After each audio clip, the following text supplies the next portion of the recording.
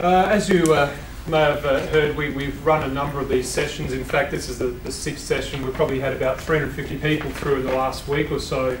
Uh, you, again, you're the smallest session, but uh, that's always nice to finish on a bit, bit smaller audience.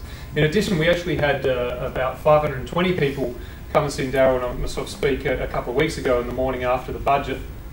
What happens is every year when the budget comes out, about 7.30 of the night of the budget, we, we put together our thoughts and we get a bunch of people here staying up to one in the morning. Then we troll, troll through all the papers and then we produce uh, a presentation for a bunch of accountants, solicitors and other business people that were held at the, uh, at the uh, Adelaide Oval the next morning. So it was about 520 something people.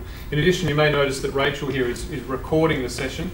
Um, and that's so that we can actually send this out to uh, beyond the audience uh, that, that's able to attend because we've people that are interstate and overseas that, that, are also interested. So we're quite astounded at the at the level of interest in this budget, and it's not just because Daryl and I are so good looking. It really was a significant budget.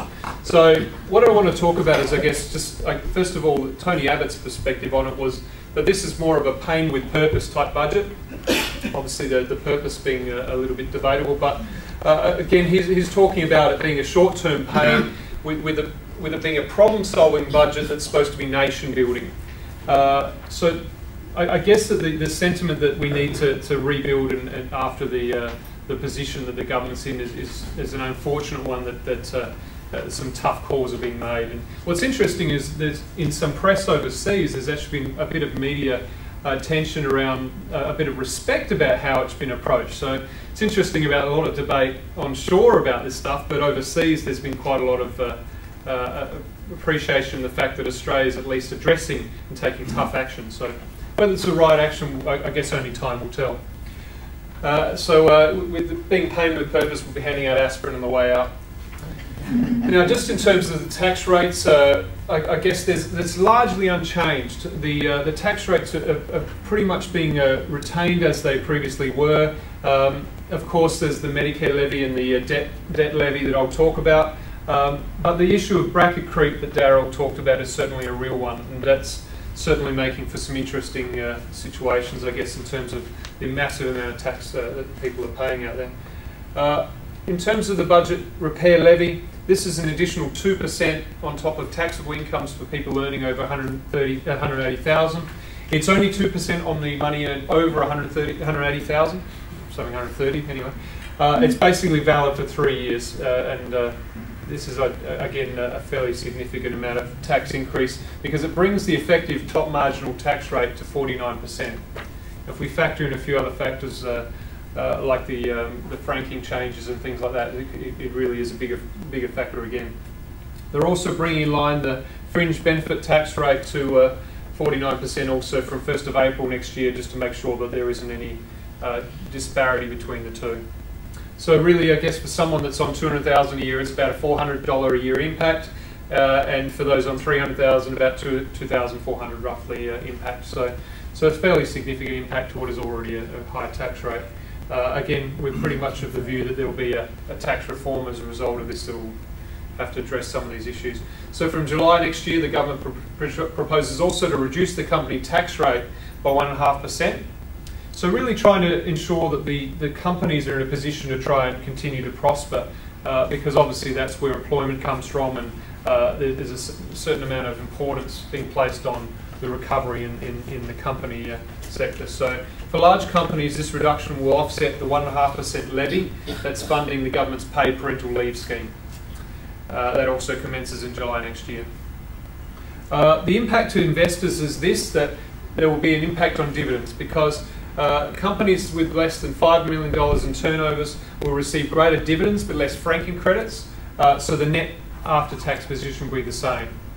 Uh, but that's not, largely not the kind of companies we, are investing our clients' money in. So the companies we are mainly focused on is those with uh, income over 5 million a year. So the 1.5% reduction in tax that's being offset by the parental leave scheme uh, will mean that there's the same dividend but less franking credits. So when you allocated pensions and account-based pensions within superannuation, uh, when you go to have your tax return done, normally there's the refund of franking credits. There'll be a slight dent in that, and obviously uh, uh, this does leave people slightly worse off. The good news is that we've seen in the last quarter that uh, there, was a, there was a fairly reasonable lift in the average uh, dividend being paid out by a lot of the companies we look at. Uh, I think our, our list produced about an 8% increase in, in dividend year on year, so that was a fairly decent offset to this problem, I, I, guess. So it will continue to, to make sure that we're focusing very much on where we're getting the income for your portfolios from. Uh, and, and again, as Daryl pointed out, perhaps with some of the changes to the, the way that mining companies are, are paying out, it, it does, uh, it does change the, the way we might construct a portfolio in future. So again, a taxation review has been flagged and we're expecting that to be a pretty significant thing. Uh, superannuation was largely uh, left out of the, the, budget in terms of changes, but we're anticipating uh, that there'll be some changes from this tax review. So it's, it's going to be interesting to watch this space.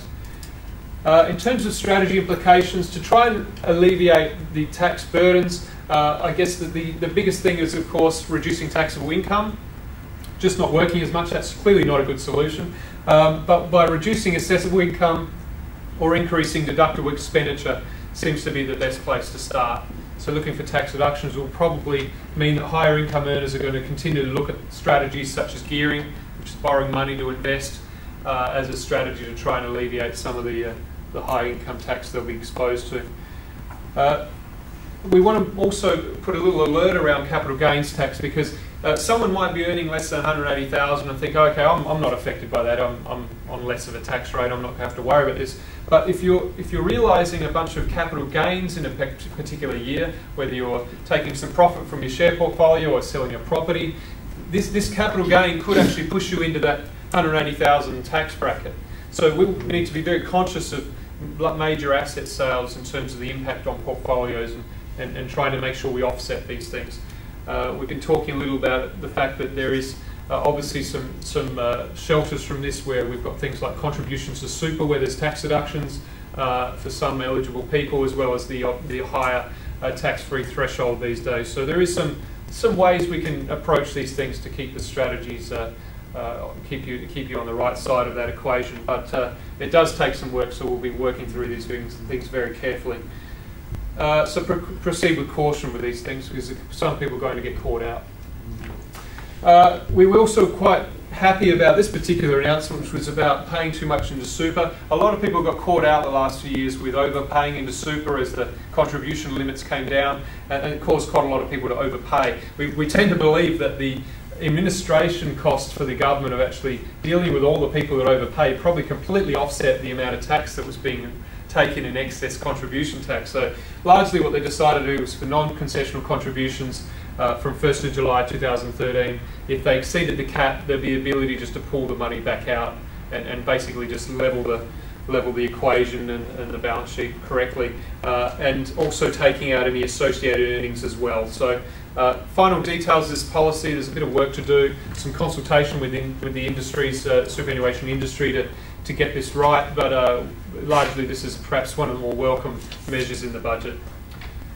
Age pension, pension access. This this raised quite a lot of attention in the in the uh, in the media, and a lot of people are, are, up in arms about it. Interestingly enough, the people up in arms about it are largely those people that are going to, to, to be unaffected by this because they're over the, the, the age of uh, this being affected. People my age are actually largely ignoring it, which is an issue I'll talk about in a minute.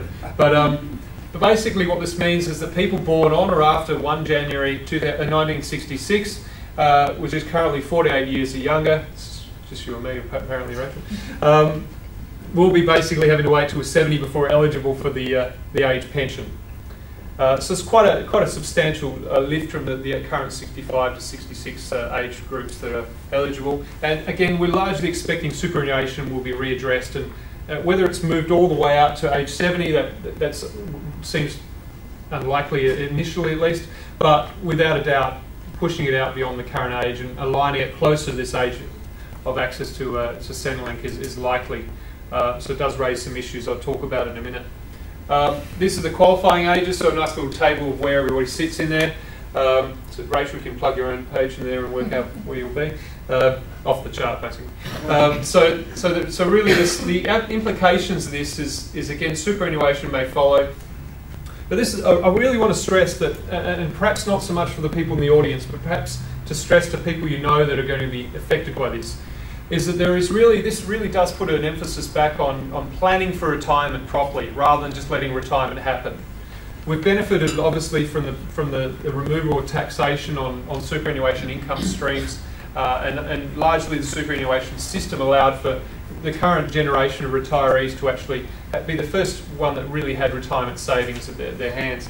Um, but of course, uh, a program of saving and investing outside super to fund the gap between the age of when someone wants to give up work and when, can, when they can get their hands on super and Centrelink may be the most appropriate way to proceed. And assets can be transitioned into super if they're accumulated outside super anyway. So one way to approach that would be investment bonds.